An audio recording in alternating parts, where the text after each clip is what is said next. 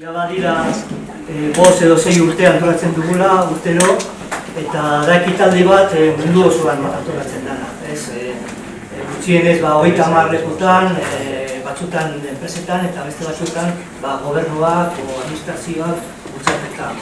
Eh, decía que vamos a que gracias por venir y que vamos a dar comienzo a la, a la jornada del Día Mundial Clone, que se celebra simultáneamente en varios eh, sitios eh, a la vez. La mayoría conocéis Clone, es un sistema de gestión de contenidos de software libre en el que llevamos trabajando desde hace ya como 10 años y, y en el que confiamos y en el que pues, a conocer a los clientes.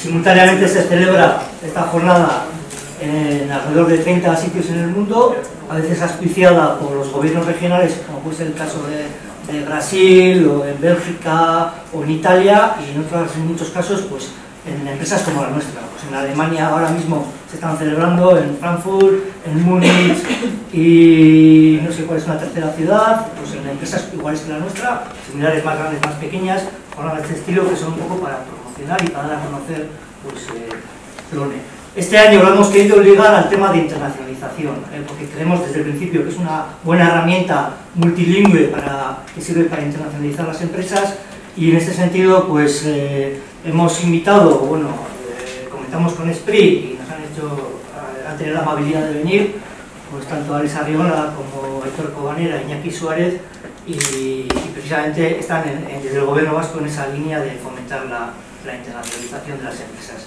El programa de, las empresas vascas, eh, que puede ser mediante instalaciones, mediante internet, mediante diversas aplicaciones de marketing, de venta, etcétera, eh, vía eh, online. Eh, la jornada está prevista pues, con una intervención de Alex que nos va a situar un poco en el contexto y luego tres miembros de Codesintas nos van a, a rápidamente dar una visión general de, de Plone y luego tenemos también al director general de la CEP, que es el típico ejemplo de, de empresa exportadora, ellos creo que exportan el 85% de, de su facturación, están en Mayavia, es una pyme de las muchas que hay en el país y que hace uso también de, de. ¿eh? Y en el, en el transcurso de la jornada pues vamos a ver varios ejemplos de, del uso y de las posibilidades que ofrece. Yo sin más, pues eh, le voy a dar la palabra y agradecer de nuevo a Alex Arriola. Bueno, egun hori, lehenbizi ezkerra jamon esleri eta batipako desintazi bertan emoteko aukera emotia gaitxik, baina bon, herri izan izan de barren, non diokan gehiago ez, bainetako, ba, algo sentitzeko modukoa. Eh, la temática de hoy era enlazar lo que es la importancia de las TICs y la importancia de la internacionalización de nuestras empresas. Ya les voy a hablar en general, no me voy a centrar tanto en, en datos técnicos, obviamente porque no tengo el conocimiento, pero bueno, muy, muy, muy brevemente, ¿qué suponen las TICs para nosotros? Estaréis oyendo mucho en los periódicos los nuevos planes que se están lanzando los gobiernos, la verdad es que estamos en el gobierno vasco Estamos en una época de muchos cambios, en el tenemos los planes de innovación, planes de internacionalización y recientemente, ayer concretamente, el Endacari que anunció el nuevo plan de industrialización. Y quiero centrar en dos planes sobre todo, porque hoy vamos a hablar de la conexión entre las TICs y la internacionalización. Me quiero centrar en el plan de innovación, la famosa RISTRE, la especialización inteligente, que es, que es eh, sucesora de los anteriores planes, programas marcos de innovación en los cuales se definen muy claramente cuáles son los ámbitos en los que tiene que trabajar Euskadi y dónde queremos estar tecnológicamente de aquí al 2020. Se de fabricación avanzada, se de energía, se de eh, nanotecnología, de biociencias y eso serían cosas que lo iréis oyendo mucho.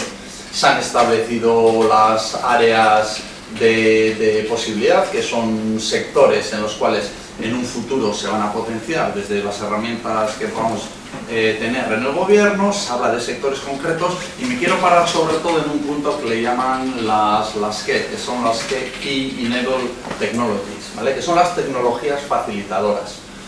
Y dentro de esas tecnologías facilitadoras que son, son esas tecnologías que ayudan a otros sectores, a otros grupos, a sumar valor añadido a sus actividades. Y aquí es donde se encuentran las TICs. ¿vale? Luego, aparte de la TIC, de por sí también la podemos considerar un sector, pero me quiero centrar en, en TIC como facilitadora para otras empresas. Lo que quiero decir es que dentro del plan de innovación del gobierno vasco está metido a las TICs y está metido de una manera muy muy específica. porque en este camino de aumentar el valor añadido de nuestros productos o nuestros servicios, vemos indispensable y obligatorio hacer uso y potenciar estas, estas TICs perdón, lo, máximo, lo máximo posible. Bien, eh, en el plan de innovación, ¿vale? la RIS3, especialización inteligente que nos piden de Europa, las TICs están muy muy marcadas y ahí las tenemos. ¿vale? De hecho, nos reunimos con el Cluster Gaia también hace poco y lo dejamos bien claro. Es una herramienta clave de cara al futuro, por lo tanto un sector muy clave y estratégico para Euskadi. Ahora está la internacionalización. ¿Qué vamos a hacer la internacionalización? No creo que necesite gastar mucho tiempo en decir lo importante que es, eh, lo que supone para nuestras empresas tener un grado de internacionalización muy grande y todo eso. Eso es obvio, ¿vale? Hoy en día vivimos en un mundo global en el que tenemos que vender a cualquier cliente que tengamos en cualquier, en cualquier parte del mundo. ¿vale? Por lo tanto tenemos lo que son las TICs, estratégico para el país, y lo que es la internacionalización. ¿Cómo los unimos? Bueno, se unen por, por simples ejemplos o casos muy concretos. Podemos dividir en tres las fases de una internacionalización. Una previa o primigenia, en la cual una empresa quiere investigar si su producto se puede internacionalizar, por lo que necesita una vigilancia tecnológico competitiva para saber qué se está haciendo en el mundo. Si tengo que vender en Brasil, si tengo que vender en México, en China o donde sea. Y para eso tiene herramientas, herramientas muy relacionadas con las TIC, los RSS, los Google Alert, los Yahoo Pipes, tiene muchas herramientas. Por tanto, en esta fase primera, muy importante. Obviamente, esa no es una fase en la que no queremos quedar. Queremos pasar a la segunda fase, que es, he decidido salir al exterior y voy a vender produciendo en Euskadi, por ejemplo. Pues eso también es muy importante. Yo, bueno, he tenido la suerte de vivir muchos, mucho tiempo fuera y si tú quieres saber una empresa china, una empresa india, una empresa americana a la que le vas a comprar si es la empresa que tú quieres, ¿qué es lo primero que haces? Mirar su página web. Es obvio, es obvio. Y yo puedo asegurar que yo he dejado de trabajar con empresas porque he visto webs que no eran buenas o contenidos de webs que no eran buenas y he decidido no trabajar con esas empresas. Por tanto, hay esta segunda fase en la que todavía estamos en Euskadi, pero hacemos uso de estas, de estas TICs y, este es un caso muy, muy concreto de un plone, ¿vale? de un gestor de contenidos y además hay empresas que lo están utilizando. O sea que está muy relacionado. Ahora viene la tercera fase en la que nos gustaría estar a todos de alguna manera, que es, seguimos internacionalizando, pero nos vamos afuera. Nos vamos afuera. Vamos a los distintos países. Aquí todavía es más clara la necesidad de hacer uso de las TICs. Seguimos con los gestores de contenidos, seguimos con todas las herramientas TICs, pero aquí sí quiero hacer mención a ciertas, ciertas palabras clave que lo vais a escuchar mucho últimamente Industria 4.0, Internet de las cosas, seguro que lo estáis oyendo, bueno, y eso es tema de debate para estar dos días hablando de ello, ¿vale? Pero al final lo que sí queremos es incrementar el uso, masificar el uso de las TICs en nuestros procesos productivos, porque no olvidemos que somos un país industrial, para incrementar valor añadido. Y para eso sí o sí necesitamos las TICs. ¿vale? Por lo tanto, TICs, internacionalización, completamente de la mano. Y además hemos puesto, bueno, hoy que es el, Día Mundial del Clone, pues hemos puesto un ejemplo claro en el que incluso esta herramienta pues, va a ser muy, muy, muy importante para, para utilizarlo. Eh, con eso, bueno, más o menos termino, quiero hacer dos cosas, dos menciones. Primero, eh, quiero hablar del software libre en general. La verdad que soy poco conocedor y hasta hace poco bueno, en una reunión que tuvimos con Eneco y con EUNATE y con los de pues es, es, cuando empecé un poco a enterarme de lo que es el software libre. Nos parece una herramienta muy, muy interesante. A mí, por lo menos, me gustó mucho. Me gustó mucho porque supone un coste normalmente menor para las empresas, supone trabajar en conjunto de una manera muy deslocalizada y es de alguna manera lo que estamos impulsando desde el gobierno. ¿vale?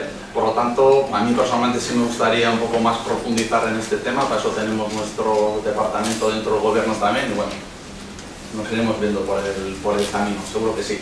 Y para terminar, una cosa ya fuera de todo contexto, un mensaje positivo para todos, ¿vale?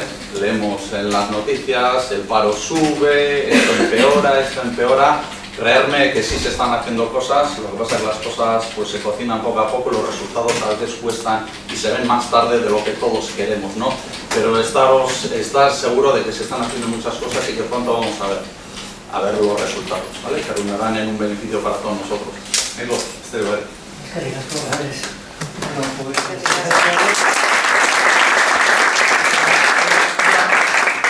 Vamos a pasar a lo que sería un poco a la presentación del equipo de, de un poco más entrando en materia y en las posibilidades que ofrece Colombia, ¿no? Y va a empezar pues, eh, Gary Alonso, que es fundador de Codesitas, le conocéis casi todos, y director un poco técnico de, la empresa.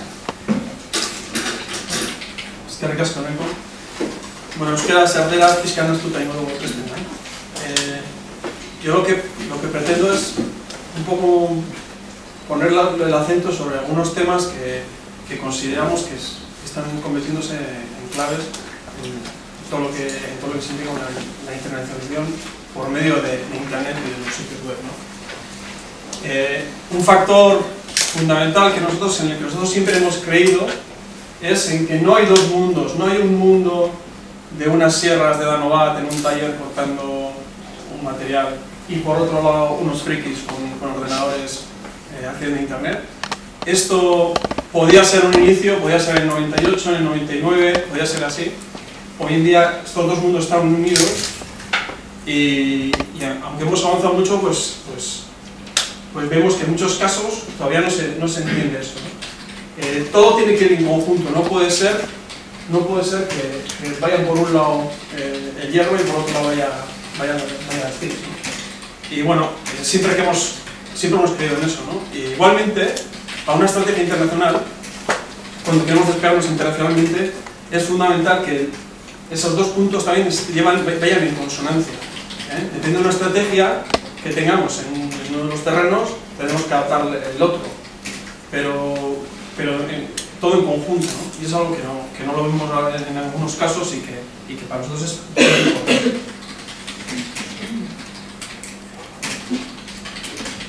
Un tema muy importante para la gestión de contenido ágil y flexible es muy importante que las personas que gestionen el contenido estén lo más cerca posible de la actividad a la que nos vamos a referir.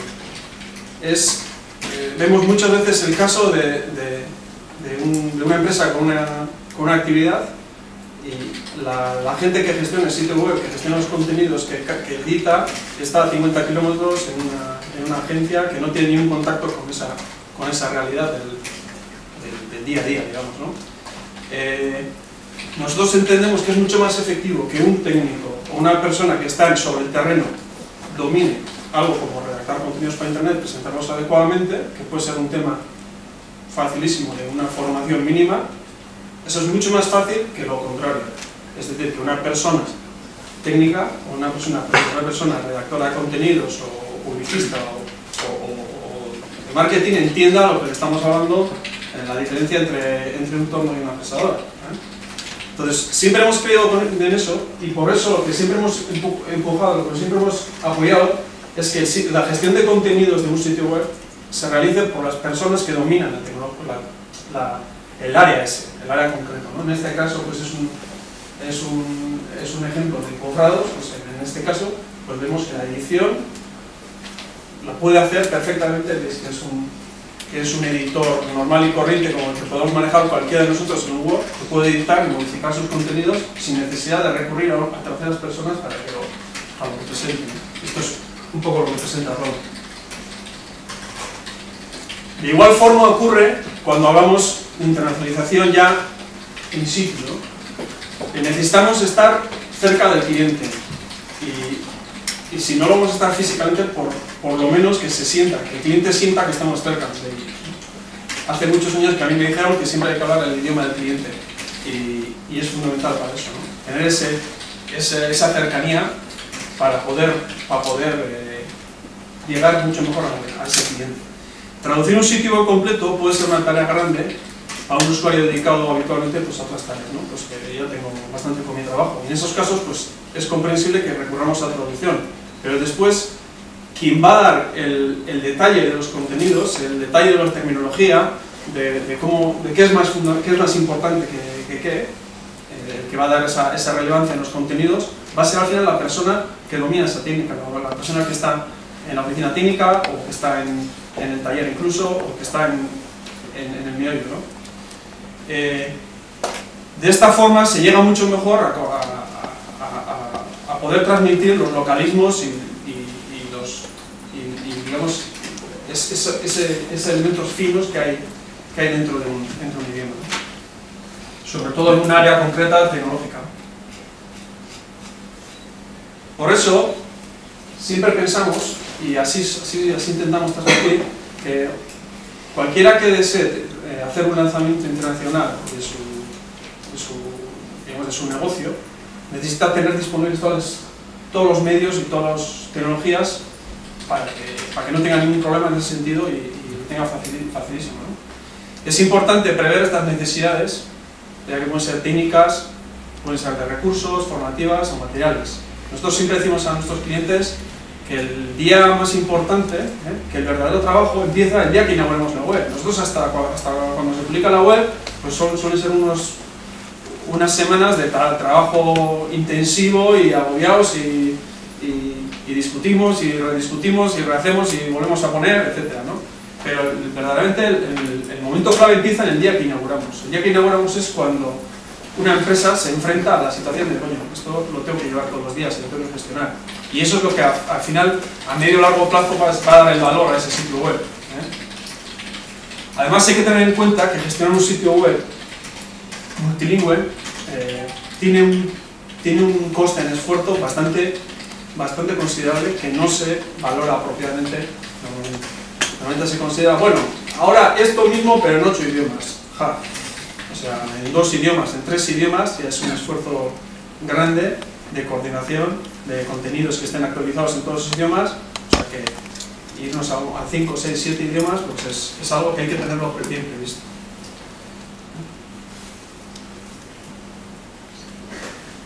Por otro lado, os quería contar un poco qué es, qué es lo último que está saliendo en cuanto a SEO, en cuanto a posicionamiento en Internet, lo cual nosotros lo, lo estamos aplicando bastante, eh, lo tenemos bastante en cuenta.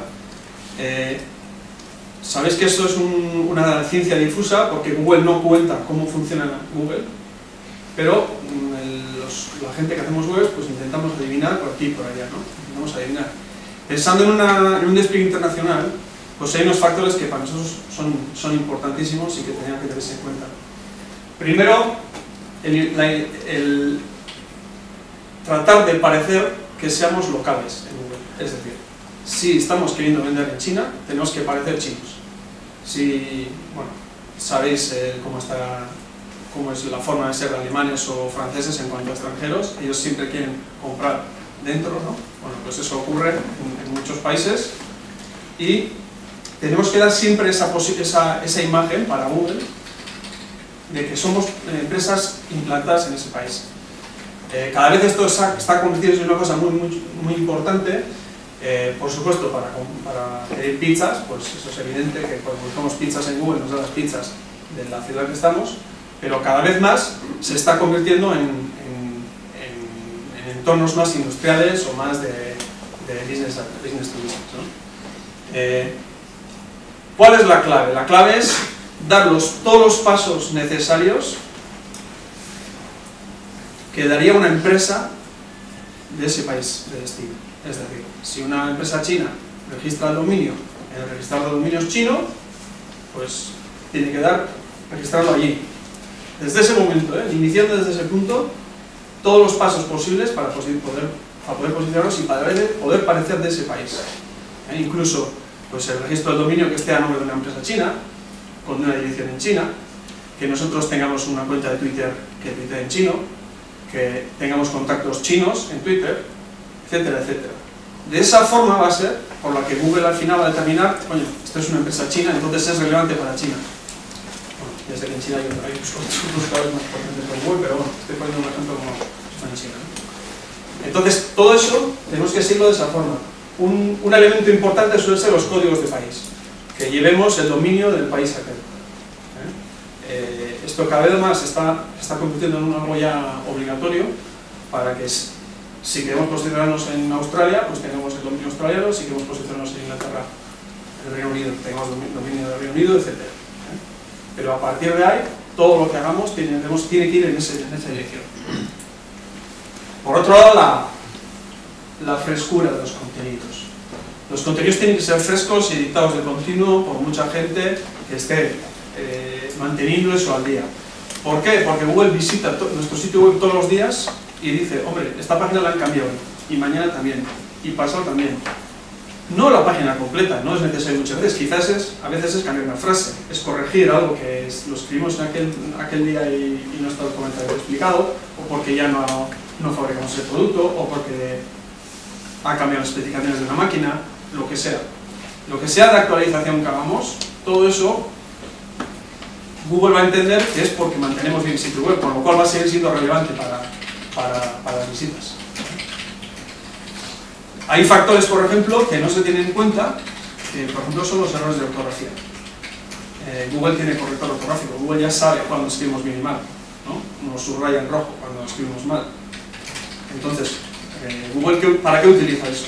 Utiliza para eh, determinar la calidad de un sitio web. Si hacemos un sitio web para Francia y no ponemos ni un acento, en francés, por mucho que yo, por ejemplo, que estudié francés y puedo escribir en francés, pero sé que se me escapan el 90% de los acentos, pues Google me pilla a mí. Porque esto no es un sitio web montado por un francés, ni para Francia, etc. En ese sentido hay que tener mucho cuidado. Un factor clave que se está cumpliendo últimamente es, el, la velocidad. La velocidad del sitio web tiene que estar totalmente optimizada para que devuelva inmediatamente el resultado.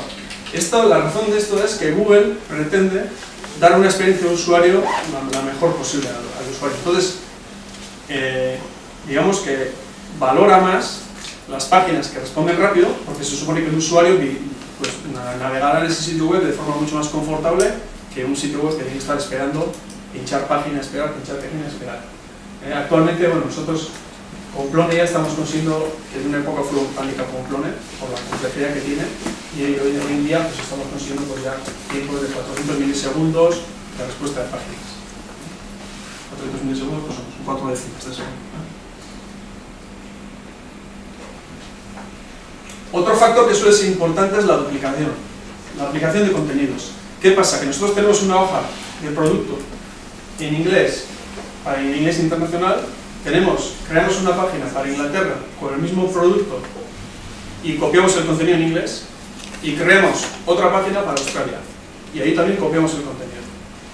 ¿Qué ocurre? Pues que para Google son tres páginas en tres direcciones, ¿eh? en este caso es un bodega, pues ardogoshow.com, en Ardogoshow Inglaterra y Ardogoshow de, de Australia, es un caso ficticio, ¿eh? no. Eh, para Google esto es contenido duplicado, dice, aquí alguien ha copiado alguien.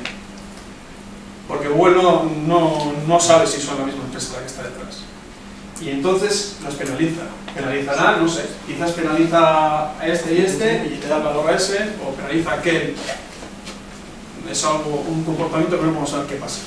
Entonces, hay sistemas para decirle a Google, no, perdona, sí, es la misma empresa, pero esto es la web que hemos montado para los de Australia, esta es la web para la que hemos montado para, a los de Inglaterra. Encima, si los contenidos los modificamos, porque quizás para cada mercado es distinto el producto, pues si para un mercado tengamos una línea de productos, para otro otra, si, si modificamos ese contenido ahí, incluso cambiamos terminología, pues va a ser otro signo más de calidad de nuestro sitio web. Un signo más que, al final esto es una lista larga que hay que puntuar en, todos los posibles. ¿no?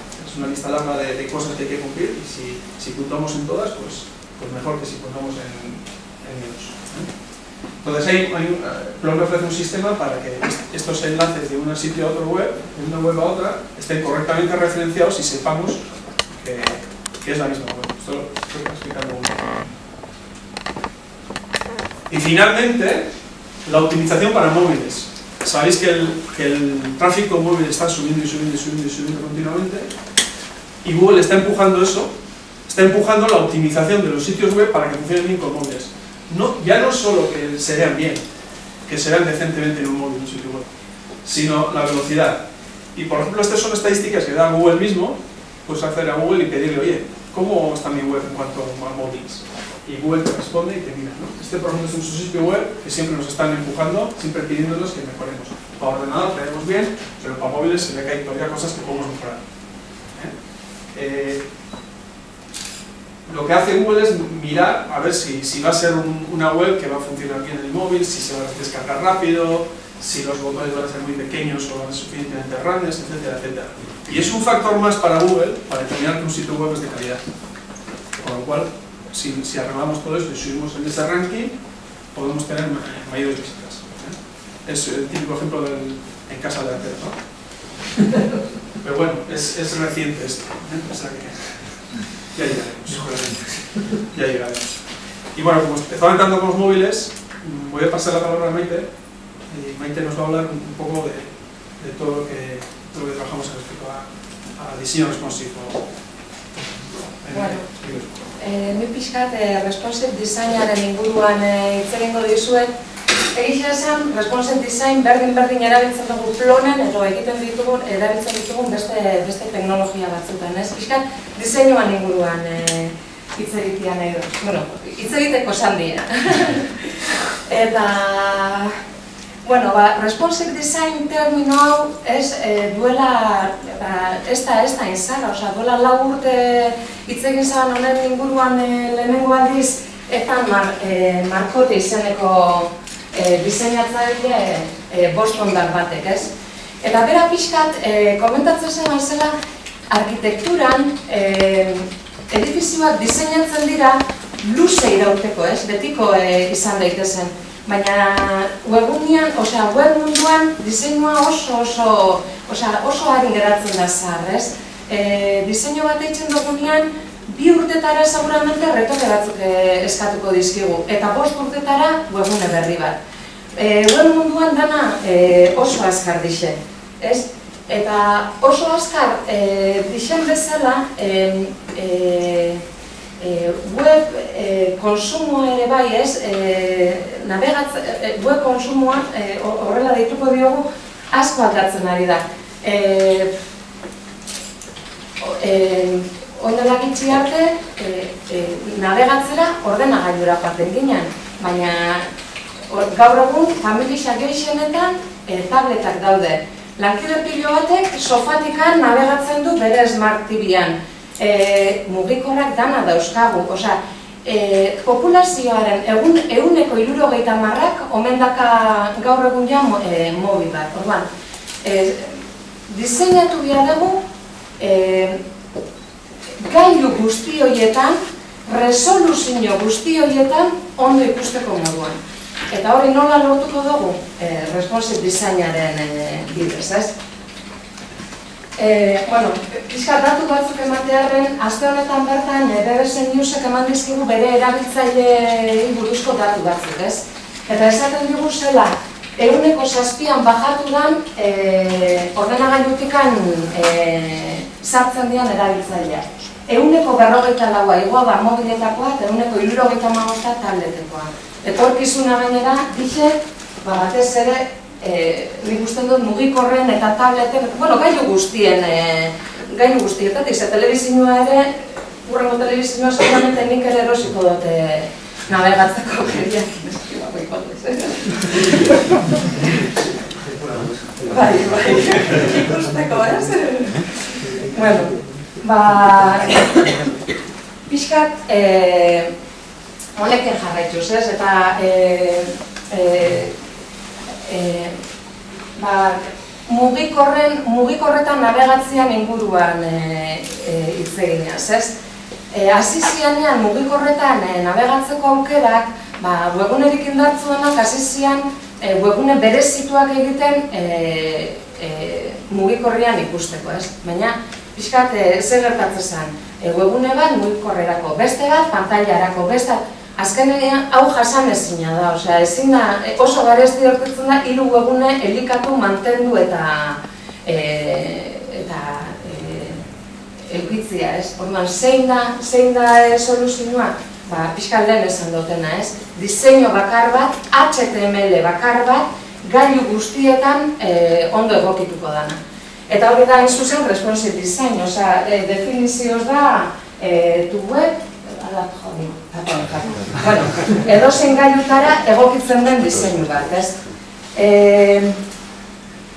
ez hau garri nagusitxak. Webunia ya está, ya está eh, a 800 por 600 o a 1060 o a este... A esto, Osea, nos olvidamos de los píxeles eta izan da flexible. Orduan, espazio hau dakatela hau okupatzen dut, hau dakatela hau okupatzen dut. Ez? Webuniak hartu bia da, ematen zaion espazioa. Pantalla handi bat edo, edo telefono txiki bat. Bai, eta orduan, horretarako, e, horretarako, ba, e, aldatu egingo ditugu gauza batzuk, ez? Media query eta e, eh, estilo horrien bitartez. Bueno, hone dia, pues, diseinatzaileok erabiltzen ditugun erramientzak, ez? Alde batetik HTML-a dixe, eta beste alde batetik eh, estilo horriak. Eta guk estilo horrion bidez, esaten diogu eh, diseinu bateri, ba, bueno, eh, orain, pantalla handi baten zaude, ba, erakutzi menua osorik. Orain, smartphone baten zaude, e, e, telefono baten zaude, ba, orain, menua txikitu zazu eta erakutzi jasu beste kontenidua garrantzitsu hau badana. Baina hori dana, HTML bakar batekin e, konponduko gera eta e, e, diseinua ez, aldatuko dugu ba, estilo horri horien bitartez nola izateko, ez? E, tipografia ere aldatu egiten da, ba, mugitu horretan tipografia pixkat handi xegoa gustatu jako, porque ya ez dago oso ondo ikusten, eta tipografia ere aldatu egin dezakegu, ba, segun eta e, nun ikusten nahi geran. Irudiak ere flexibliak izango dira, oinarte irudiak zaken tamaino konkretu bat, baina oina ondo ikusi dira pantalla baten eta ondo ikusi dira mugikor baten ere bai. Orduan, irudi horiek flexibliak izan dira, ez? Lehen esaten agala. Ematen diogun espazioan arabera batzutan elementu batzuk eskutatu egingo ditugu, beste batzutan erakutzi egingo ditugu, diseinuak e, eta e, e, informazio, e, informazio arkitekturak eskatzen dugunan arabera, display non bat esan, eta desagertzen da. Ba, e, mugikorrean edo, edo pantalla, ez? Bueno, eta hori dana, ba, pixkat mediako egin inguruan, baina ez nise gehiago hor usatzera mediako, iruitze jata ez dakala, ez dakala garrantzirik. Zeintzu dira abantaiak? Zeintzu dira, eh, ¿cuáles son los beneficios de utilizar el responsive design, ez? Garatza lehontzat, hiru egun eukibiarrian bakarra itzen dugu HTML bat eta CSS-a lan gehiago ematen badin badigu ere bai, webune bakarra da e, egune, e, egia dugun azken zinean erabiltzaileari dagokionez, erabiltzailearen zatero bai askoz e, e, e, erosoagoa da, zer beti webune berdina ikusten dau. Ez da, e, webune bat segun eta nundik sartzen nahi zen. Eta, bueno, lehen garik esan dagoen bezala ere bai, SEO aldetik, Googleek e, kontutan eukitzen dau, mobiletan ondo ikusten diren webuneak. Orduan, responsive egiten duten e, webuneak, ba, e, puntuatu egiten ditu, errankinean gora doaz nola baitz izateko. Eta bueno, ba, pixka bukatze aldera, ez, e, adibide batzuk. Eibarko udaletxean e, webunea dau. Ez, ikusteko, tenden dugu, ba, pantalla handi bat zer ikusiko zen, tablet batiak zer ikusiko zen, eta mugikorrian zer ikusten den. Ez, ba, segun eta nunca osen, ba, kasu honetan, menua osorik erakusten dugu, baina hemen, bihurtzen da e, ikono bat eta klik etxen dutenean bakarrik zabalduko jata ze hemen ja ez jatak menu guztia. Batzutan erabakitzen dugu zutabe izan beharrean bi izatiak. Baina, bueno, kasu honetan mantendu ditugu hiru zutabeak ondo ikusten zelako. Mugikorrean berriz, zutabeak fuera, dana zutabe baten, eta bueno, erabaki dugu, bai argazki horrek ez dakala inbeste zentzu eta zuzenian albiztiak ematen ditugu, ez? Hor, ba, bueno, e, web taldeak erabakitzen du, ba, ze, ze elementu etarako ditugun lehenago, zeintzuke gerotsua eta, eta zela etarako ditugu. Bueno, beste adibide bat jartzearen, ba, e, bertosale.com e, berdina ez, ba, zabalera pantalla osoan hori ikusiko gendun eta mugikorrean txikitzen dugu eta ba, hori, ikusten dugu dana zutabe bakar batian, argazkiak lehen olazian oin txikitu egiten dira, baina ba, pizkat hor dago, ez? responsive designek hori izatea nahi dut, diseinu malgua, flexiblia, ez? Elementuak, ba, espazioan arabera kolokatzen dira baten ero, ero bestia. Bueno, eta, eta listo, hemen bukatzen da.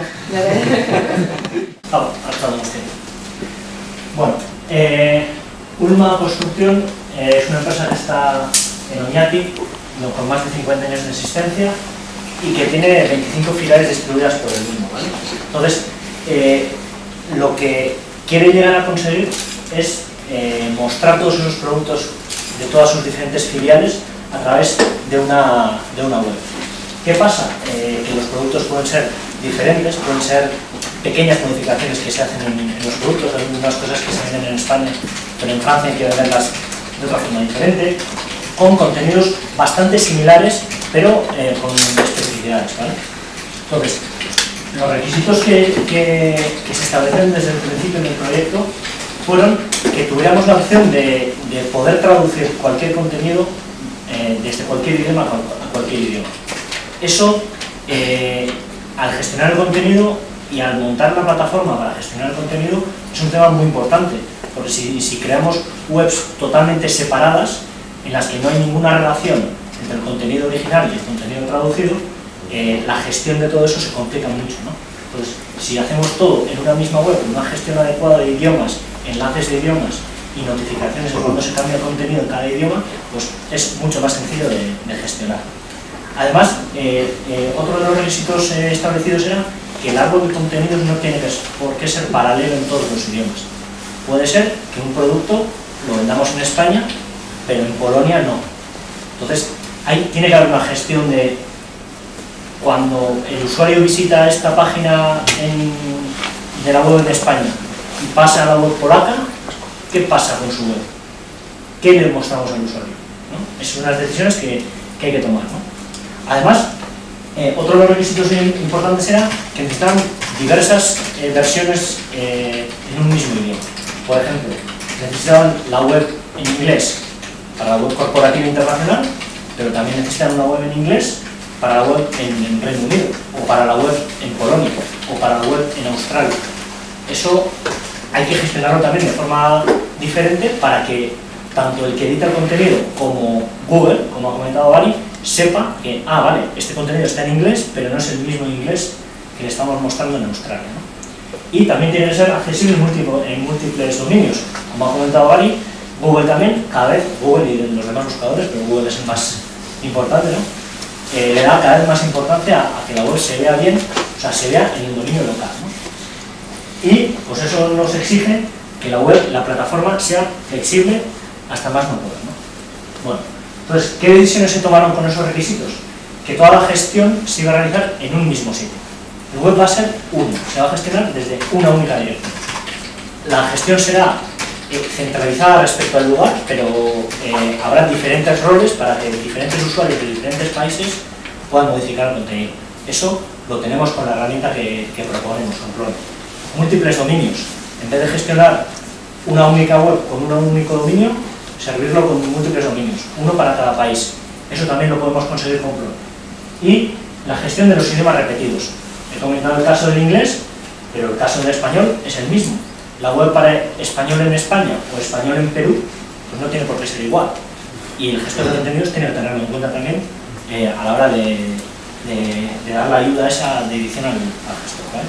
Entonces, para ello eh, eh, decidimos eh, usar Plone, eh, creamos los pares de idiomas país exóticos, vamos a decir exóticos porque normalmente eh, los, los pares de idioma país eh, están creados para idiomas existentes. Por ejemplo, existen las variantes de español, español Perú, español Argentina, español Venezuela, pero por ejemplo, inglés de Polonia, pues no existen esas variantes. ¿no? Porque, bueno, y que hemos tenido que modificar el, el gestor de contenidos que soporte, soporte eso. ¿no? También hemos tenido que crear una herramienta para poder agrupar idiomas países por dominio. ¿Cómo le decimos al gestor de contenidos que la web en inglés de Polonia eh, y Polonia y polaco se sirvan desde ulma.pl, será el idioma de, de Polonia? Las redirecciones adecuadas. Tenemos que darle al usuario la experiencia de cuando estoy navegando la web de Polonia en polaco, si quiero visitar la web en inglés de Polonia, ¿cómo, cómo cambio de idioma? ¿A qué página voy? Si, si navegando en, ese, en esa misma página quiero ir al sitio internacional para ver los contenidos internacionales, ¿a dónde le redirijo? ¿Vale? Esas, esas cosas también pues tenemos que, tenemos que educar. Y después evitar eh, generar los contenidos duplicados a, cada- a ojos de, de Google. Entonces, eh, voy a mostrar un- unos pantallazos de cómo el mismo web lo mostramos en diferentes idiomas, en diferentes dominios, con diferentes eh, eh, objetivos de usuario. Aquí vemos lo que sería el prototipo de la web internacional, en el que en, la imagen de arriba tenemos el dominio, que sería una construcción, son dominios locales, esto no está público todavía, ¿vale? Barra EN, que sería el sitio internacional en inglés. Y abajo tendríamos el sitio internacional en español. Desde un dominio servimos los dos, eh, los dos idiomas. Y tenemos eh, la opción de cambio de idioma aquí a la derecha en el desplegable que, veis. Como veis ahí, desde cualquier sitio nos da la opción para poder ir a esta misma web, a esta misma página, en otro idioma o en otro país. ¿no? El mismo caso sería para Polonia. Por ejemplo, tenemos la web de Polonia con un dominio diferente.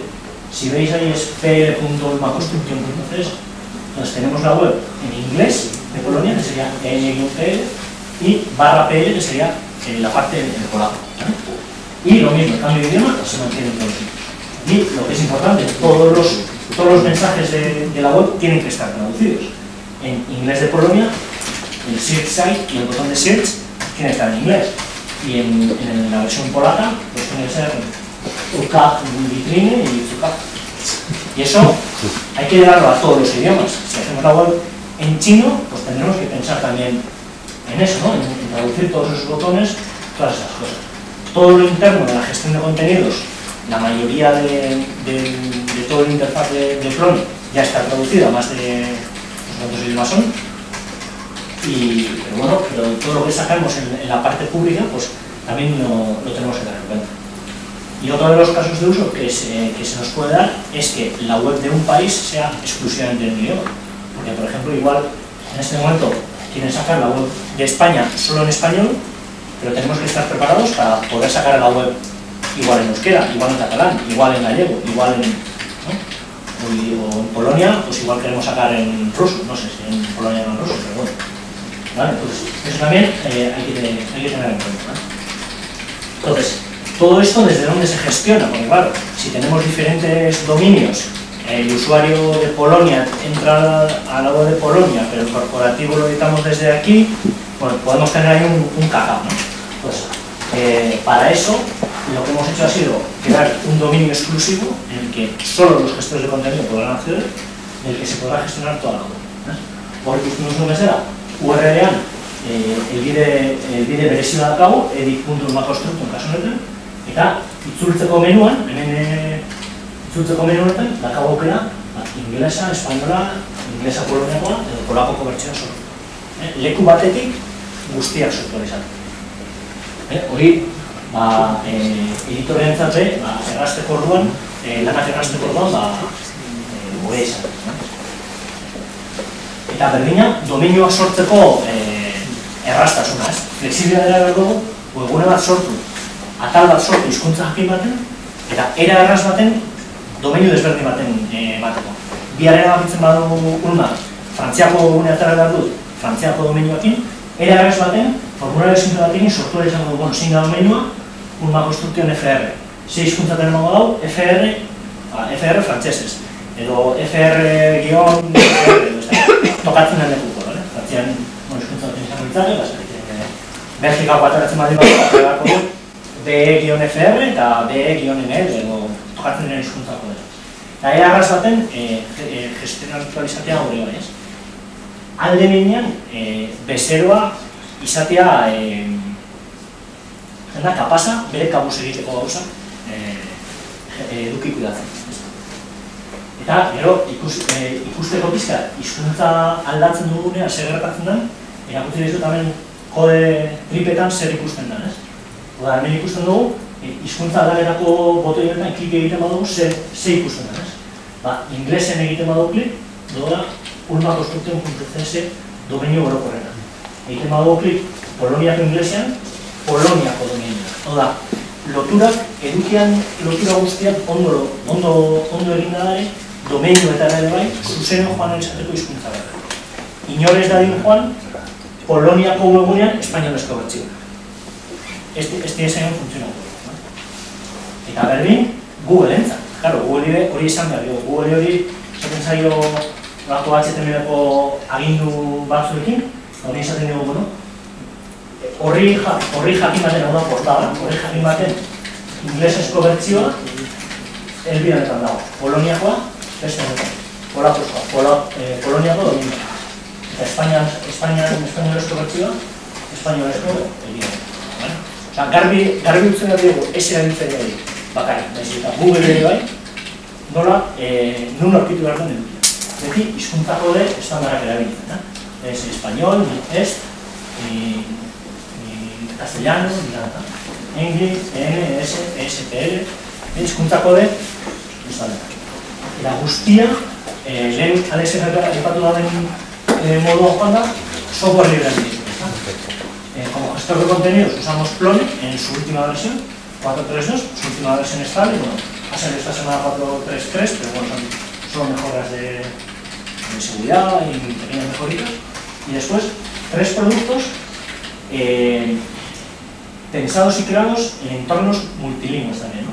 Plone Multilingual es el producto en el que se basa toda la gestión eh, multidioma del Plone, que está creado por unos catalanes.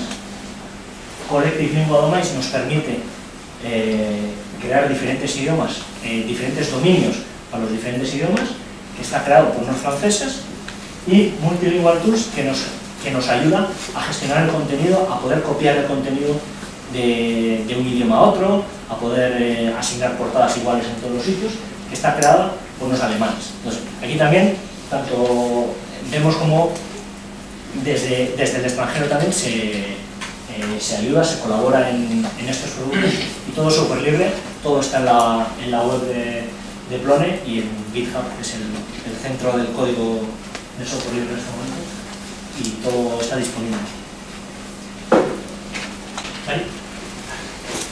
Bueno, para terminar, eh, os quería explicar un, un, caso de ejemplo, un caso de uso de, de estas tecnologías que estamos hablando. Eh, es el caso OSHA, la Agencia Europea para Salud y la Seguridad del Trabajo, que está, está situada en.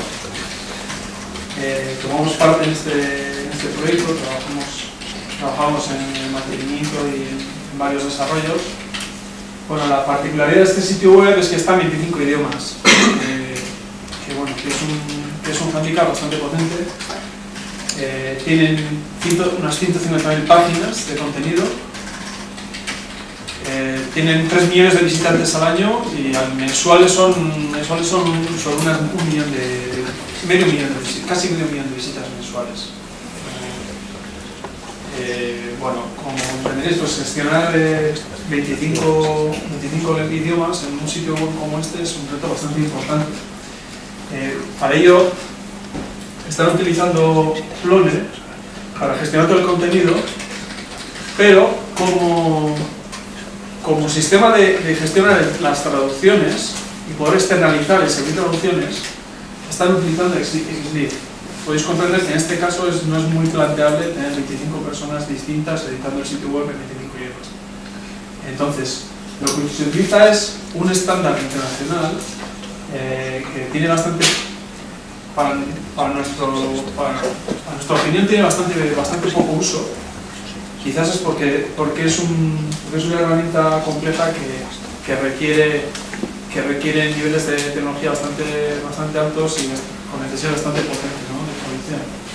Eh, es el XLIF. El XLIF lo que, lo que permite es compartir contenidos multilingües con sus traducciones. Eh, lo que hacemos es coger cualquier formato, cualquier cosa que tengamos, tengamos un HTML, un sitio web, un PDF, un, un Word, un, lo que sea, convertirlo a XLib y se envía a un traductor. Entonces el traductor ya no necesita ni manejarse con, ninguna herramienta.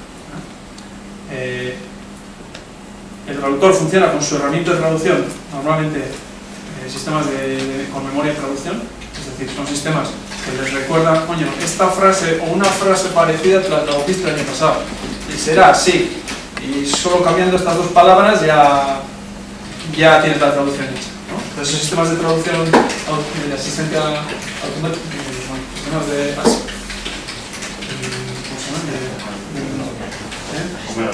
Sí, de asistencia a la traducción por, por, por memorias, bueno, pues son de bastante uso en, los traductores.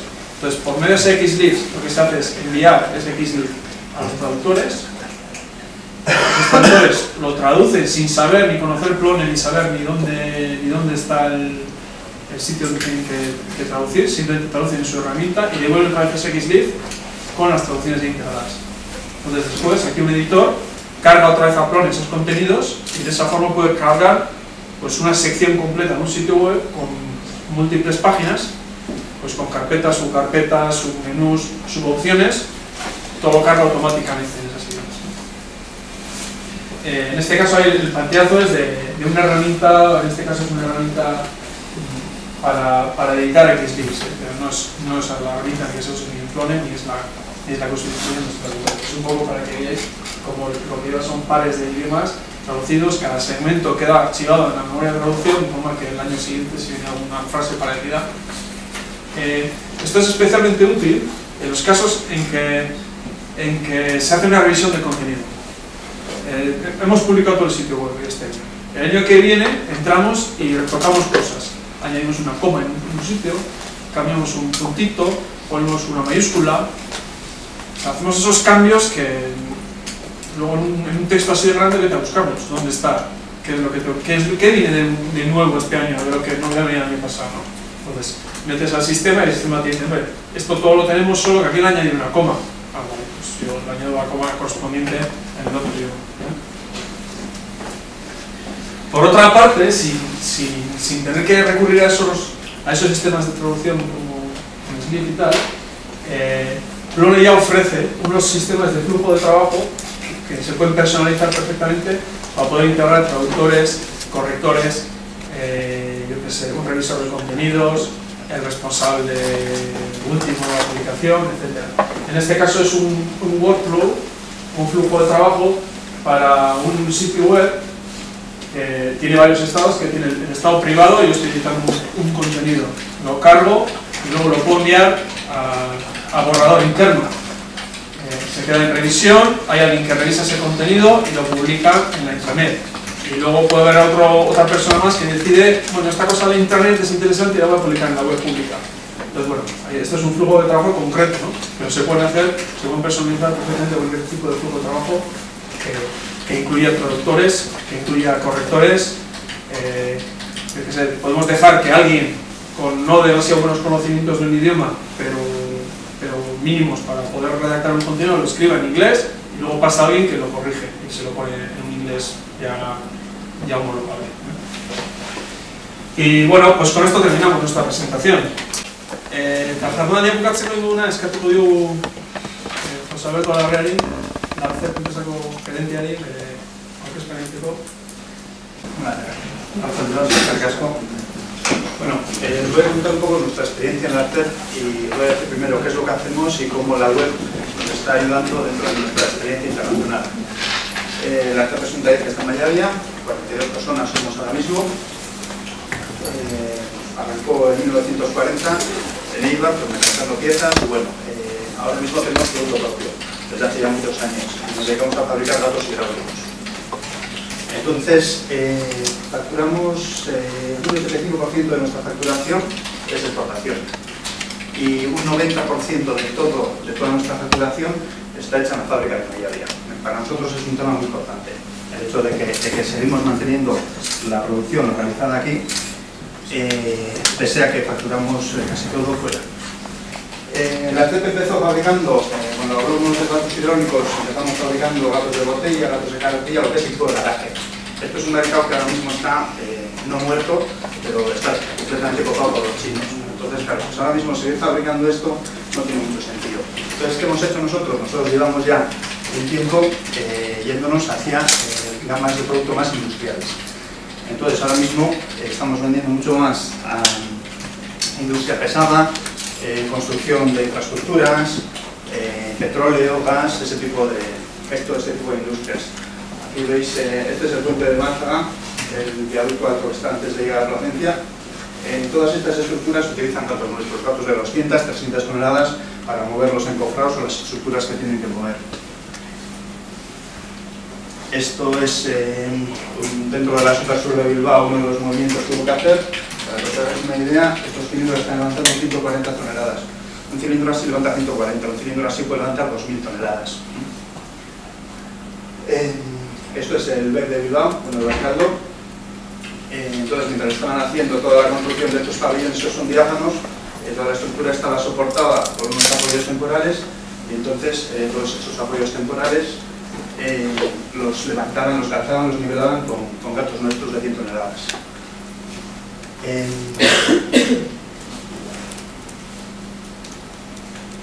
este es el puente de Deva. Dentro de la obra esta pues había un montón de gatos huecos, gatos de botella, pues un montón de equipo, pues entonces para que os hagáis un poco de idea de qué es lo que hacemos. Ya veis que ya hemos llegado hasta Bilbao y hasta Leva. vale. Esto es Zaragoza, esto ya es exportación. Eh, este es el, el edificio Cuester de la Expo Zaragoza. Este edificio lo construyeron a una de las orillas del río y luego había que cruzar el Ebro con él, ya construido. Entonces utilizan datos nuestros, bueno en este caso en rojo, porque nosotros fabricamos mucho para, para otros fabricantes también. Entonces eh, había, que, eso, había que desplazarlo y entonces los, los cilindros, nuestros datos iban eh, levantando, calzando, nivelando el puente según iban desplazándolo al otro lado del río.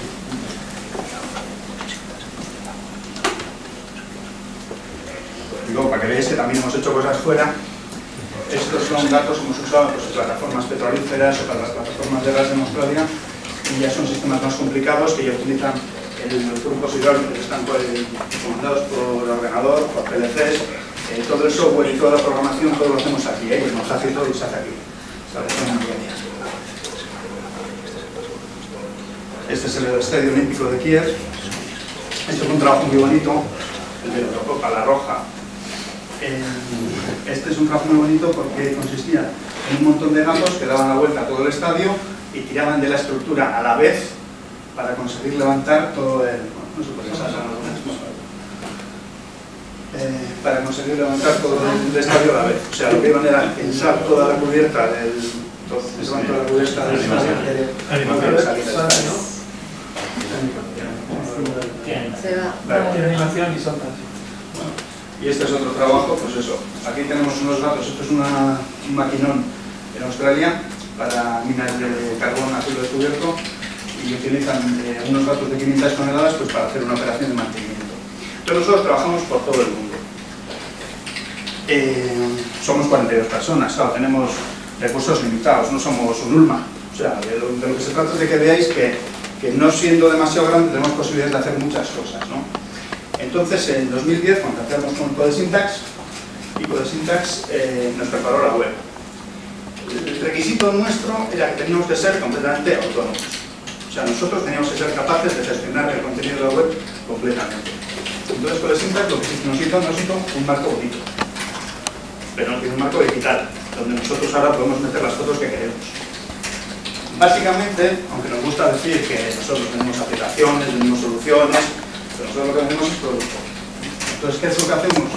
Ponemos eh, en la web, en la página de inicio, directamente metemos el producto. Tenemos seis grupos de productos distintos y entendemos que la gente cuando viene a nuestro sitio web lo que está buscando es el producto. ¿no? Luego ya diremos lo que nos hacemos, las cosas que hemos hecho, lo que sea. Pero básicamente es producto. Ahora mismo tenemos más de mil productos eh, cargados en la web.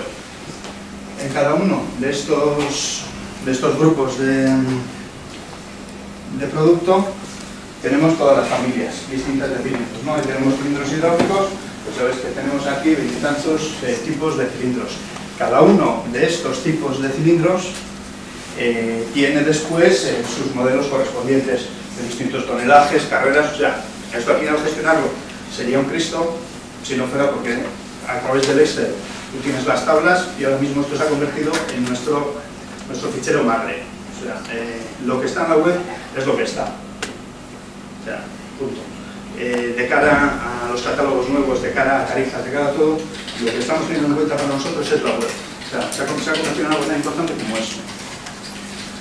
Eh, entonces llegas hasta este nivel de detalle y luego además metemos un nivel de detalle más que es con información técnica, medidas pues, de cada uno de los elementos. Entonces básicamente, bueno, pues esto es la web, un poco complicado por, la cantidad de productos que tiene, pero eh, fácil de gestionar porque yo os digo, ¿eh? esto al final lo haces con un Excel y lo hace cualquiera. Es muy muy fácil de, relacionar lo que es eh, el este o la información que vuelcas con, la web.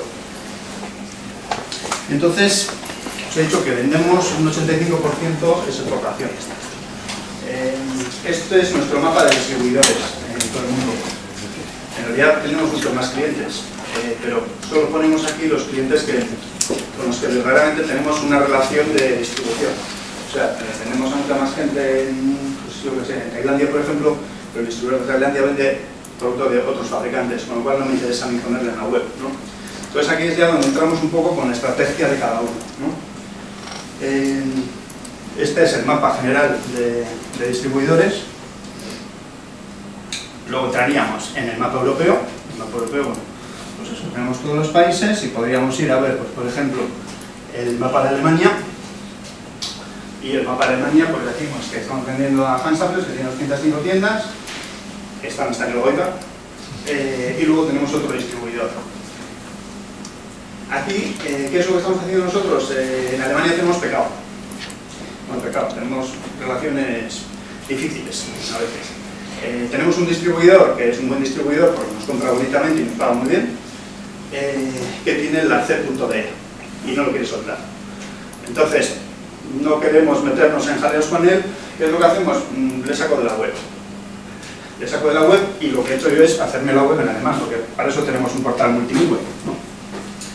Entonces lo que hemos hecho es crear la web alemana. Y en la web alemana veis que ya no tenemos distribuidores.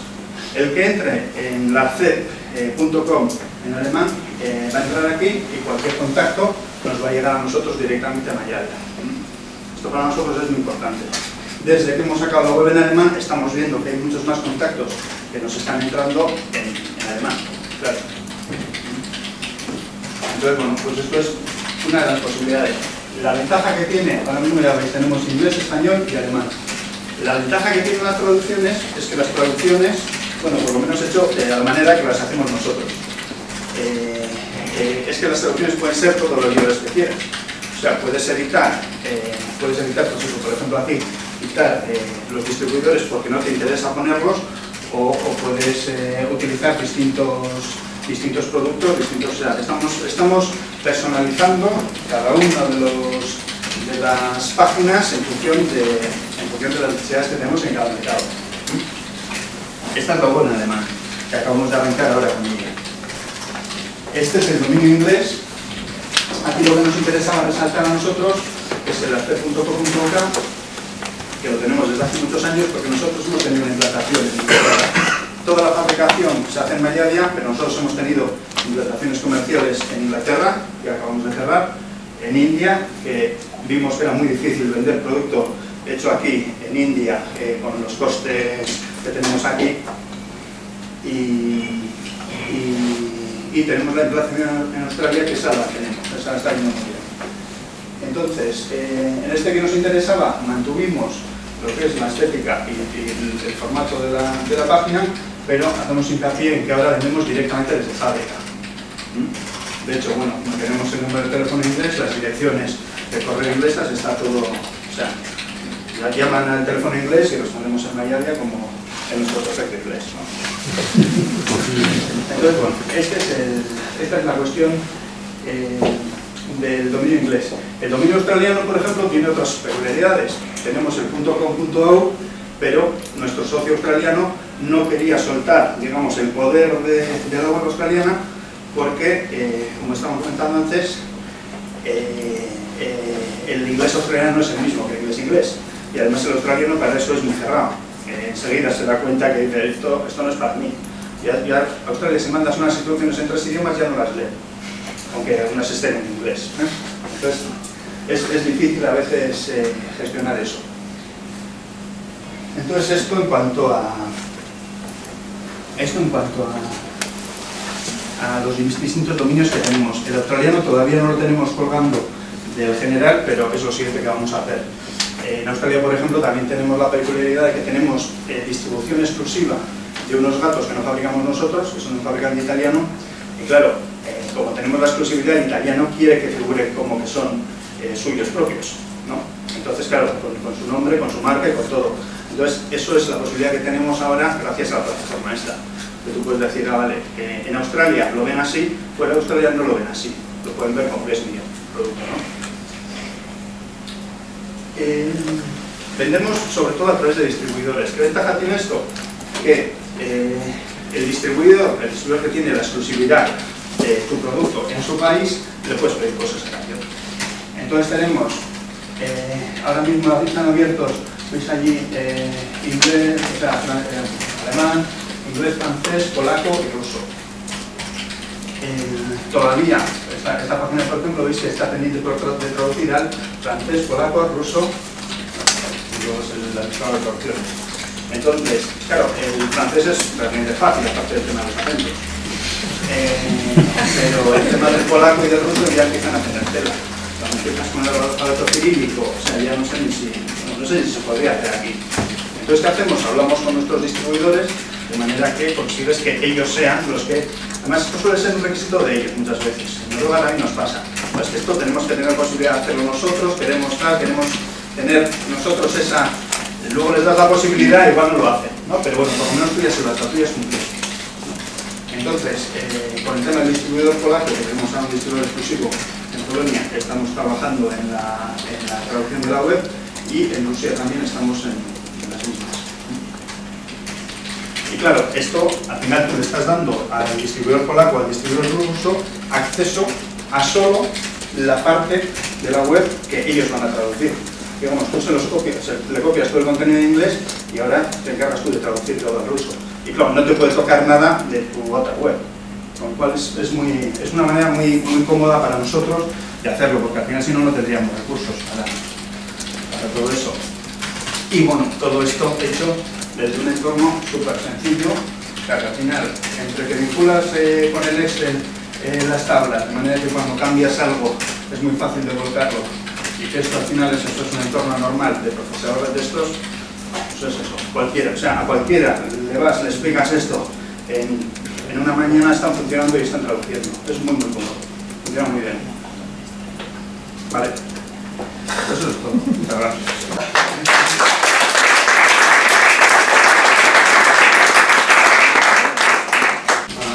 Ba, beterik gabe, ez dago galderari, incluso torrutegia betetzen, una vez, al menos, ¿no? Hemos cumplido con, los tiempos y nada, pues eh, algo de café, algo de agua y, el walking que se dice, ¿no? Muchas gracias a todos.